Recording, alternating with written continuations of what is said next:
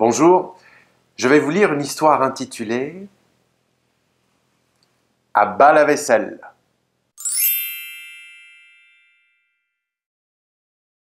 On avait à peine fini de manger le dessert que maman a dit Fatoumata, c'est ton tour de faire la vaisselle. Ma grande sœur a regardé son assiette et elle a répondu Non. Dépêche-toi, a insisté maman. Je ne veux pas que tu te couches tard. Non, a répété ma sœur. Ça ne m'a pas trop étonné parce que j'avais vu que Fatoumata était en colère. En général, pendant le dîner, elle nous raconte les informations qu'elle a regardées juste avant à la télé. Et on est un peu obligé de l'écouter parce que maman dit que c'est intéressant. Mais là, elle n'a pas dit un seul mot de tout le repas. Souvent, quand elle est comme ça, c'est qu'elle a eu une note moyenne à l'école. Ça l'énerve parce qu'elle est super bonne, surtout en français. Si mon grand frère Rajiv était de mauvais poil à chaque fois qu'il a moins de douze, il serait presque fâché tous les jours. Fatoumata, je suis fatigué, je n'ai pas envie de me fâcher. Lève-toi, s'il te plaît, et va faire la vaisselle. Non, je déclare la grève. La grève a dit maman en ouvrant de grands yeux. La crève a répété Elisa qui a deux ans et qui ne parle pas très bien. C'est quoi la grève? J'ai demandé. Papa, qui était le seul à ne pas avoir fini son yaourt parce qu'il mange très lentement, m'a répondu C'est quand les gens refusent de travailler pour forcer leur patron à les payer plus, par exemple. Justement a crié Fatoumata. Je veux une augmentation d'argent de poche. Et aussi qu'Arsène soit obligé de faire la vaisselle comme nous.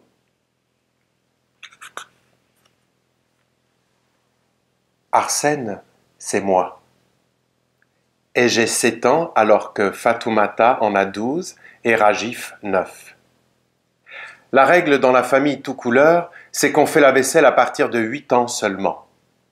Sauf si on a dit un gros mot à table. Là, il n'y a plus d'âge. Fatoumata a raison, a dit Rajiv. Arsène est assez grand pour la faire. Et c'est vrai qu'on n'a pas assez d'argent de poche. On ne peut pas aller au cinéma toutes les semaines. Toutes les semaines a répondu maman. Mais il n'y a même pas de cinéma dans le village. N'empêche, a crié Rajiv. C'est une question de principe, a dit Fatoumata qui utilise toujours des mots compliqués. Exactement, a continué Rajiv en levant le poing. À mon avis, mon frère est comme moi. Il ne sait pas ce que c'est une question de principe. Mais il a fait semblant pour être dans le camp de Fatoumata. Ça n'arrive pas souvent. Ils se disputent sans arrêt. Alors, toi aussi tu fais la grève? a demandé maman à Rajiv. Oui, demain c'est mon tour, mais je ne ferai pas la vaisselle. Nous sommes solidaires, a repris Fatoumata en mettant le bras autour des épaules de Rajiv, comme sur les photos d'équipe de foot. Moi, je n'aime pas trop les disputes. Alors je me suis levé et j'ai dit Je veux bien la faire, la vaisselle. Ah non a crié maman. C'est une question de principe. Allez vous coucher. La vaisselle sale restera dans l'évier. Elle avait l'air très fâchée, alors je n'ai pas insisté. J'ai juste demandé à voix basse à papa ce que ça voulait dire principe. Il a posé son yaourt sur la table pour réfléchir un peu et il m'a chuchoté Un principe, c'est une idée à laquelle tu crois très fort. Par exemple, il ne faut pas voler. Mais Fatoumata n'a rien volé, j'ai dit. Non, leur principe, à elle et à Rajiv, c'est que tous les enfants doivent faire la vaisselle et aller au cinéma chaque semaine. Et celui de maman, c'est quoi? C'est qu'il n'y a pas de raison de changer l'âge de la vaisselle.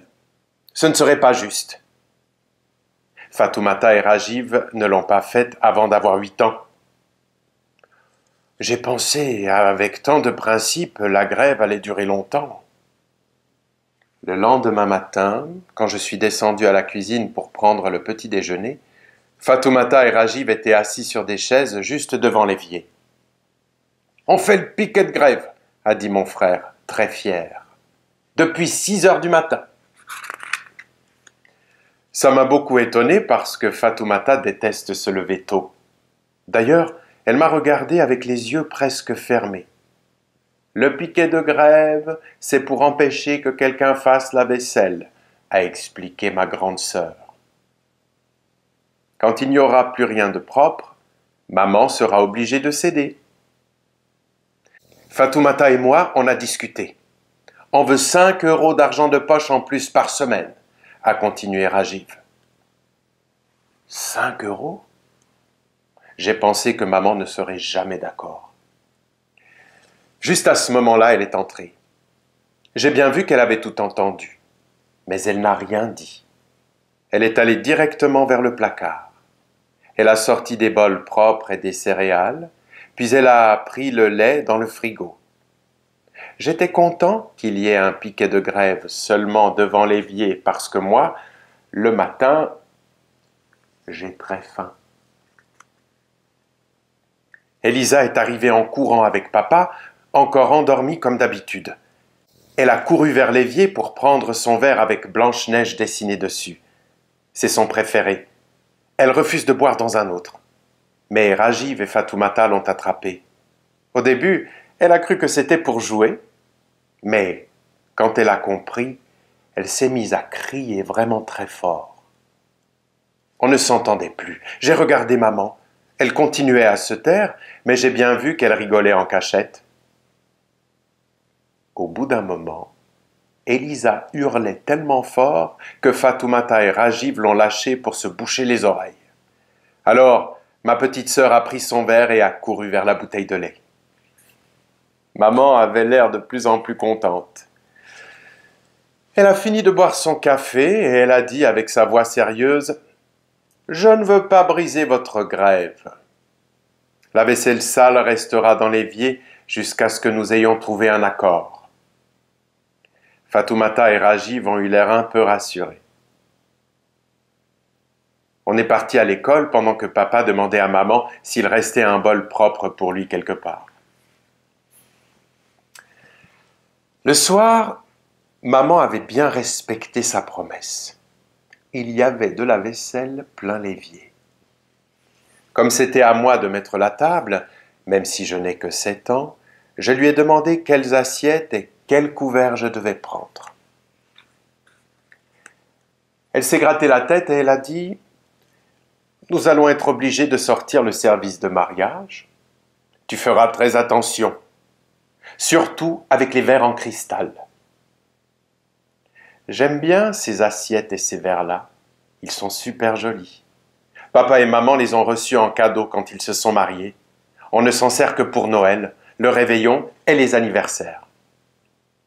Je ne savais pas que les grèves, c'était des fêtes. Pendant le repas, ce n'était pas comme d'habitude. Tout le monde avait l'air aussi fâché que la veille. Personne ne parlait, sauf papa qui nous a raconté sa journée de travail de dentiste. C'est rare qu'il ait l'occasion de discuter de ça à table. En général, c'est nous qui parlons tous en même temps. Là, ce qu'il disait n'était pas très intéressant, mais il n'y avait rien de mieux. Alors on l'a écouté. Elisa a même posé une question, mais personne n'a compris ce qu'elle voulait dire parce qu'elle parlait la bouche pleine. Après le dessert, maman s'est levée. Elle a regardé Fatoumata et Rajiv bien en face, puis elle leur a demandé Vous êtes toujours en grève Oui, ont répondu sans hésiter ma grande sœur et mon frère. Bien, a repris maman. Nous allons donc entasser la vaisselle dans la cuisine sans la laver. J'ai pensé au petit déjeuner et je me suis dit que c'était dommage que les amis de papa et maman ne leur aient pas offert aussi des bols de mariage. Pendant qu'on transportait les assiettes, Rajiv a dit à maman Demain c'est mercredi. J'ai entraînement de foot. Où est mon maillot? Moi, j'ai cours de danse, a ajouté Fatoumata. Tu as lavé mon collant? Maman a posé le plateau de verre en cristal très doucement sur la table. Elle a fait un énorme sourire et elle a dit Non, je déclare la grève à la lessive. Ma sœur et mon frère l'ont regardé comme s'ils n'avaient pas bien compris. J'ai besoin de mon maillot, a crié Rajiv. C'est un entraînement super important. On a un match dimanche. Et moi, je dois préparer le ballet de fin d'année. C'est bientôt, a dit Fatoumata.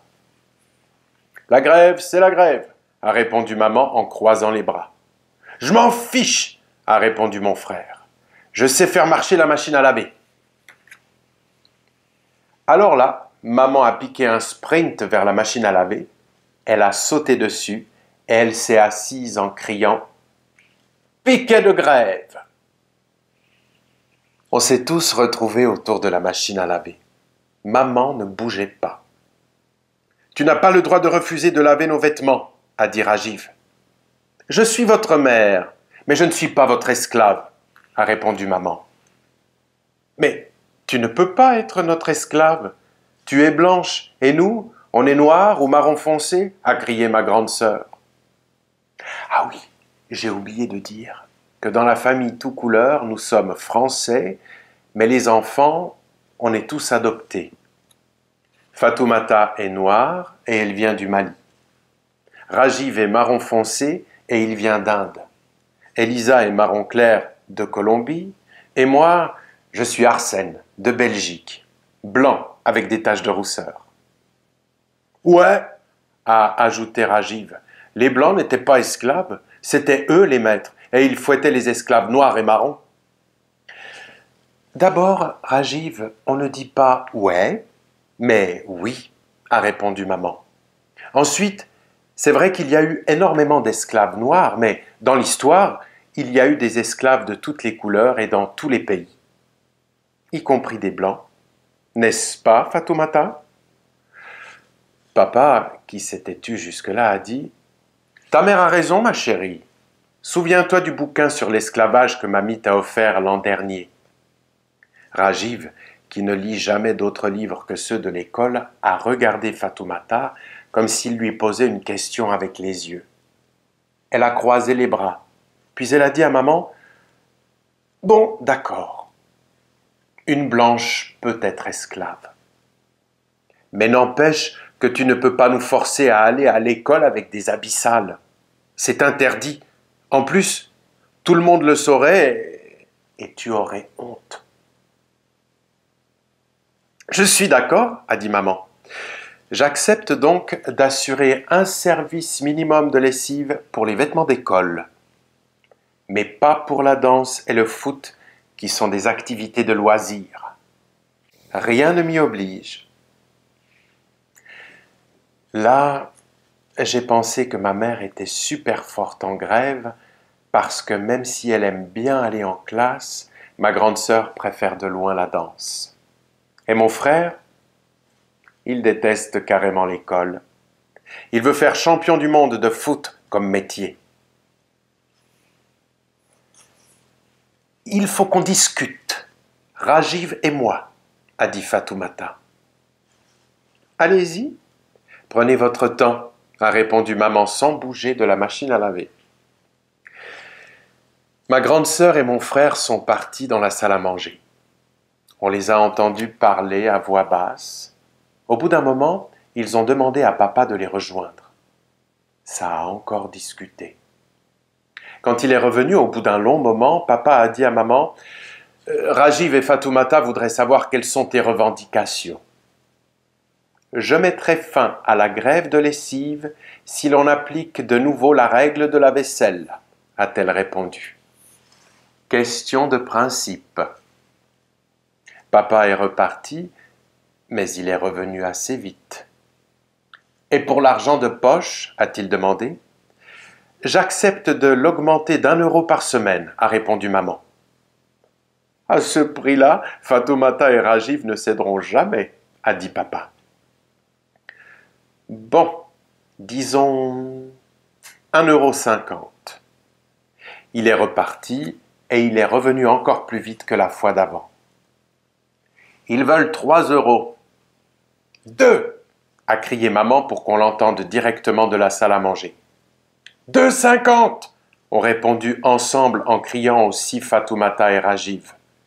Marché conclu Fin de la grève générale, a dit maman en sautant de la machine à laver. J'étais bien content parce que je commençais à avoir sommeil et que j'avais peur que les discussions ne soient pas terminées avant le petit déjeuner. Pour finir, comme il y avait des assiettes sales partout, on a fait la vaisselle tous ensemble. Et on a bien rigolé. Sauf papa, qui s'est fait super disputer par maman parce qu'il a cassé deux verres en cristal en faisant un tour de magie raté pour Elisa. Voilà, je vous ai lu À bas la vaisselle de Yann Mans aux éditions Thierry Magnier.